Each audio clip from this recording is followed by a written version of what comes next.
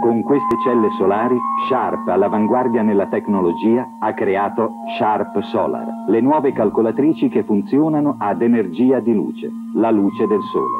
E se il sole non c'è, basta anche una lampadina.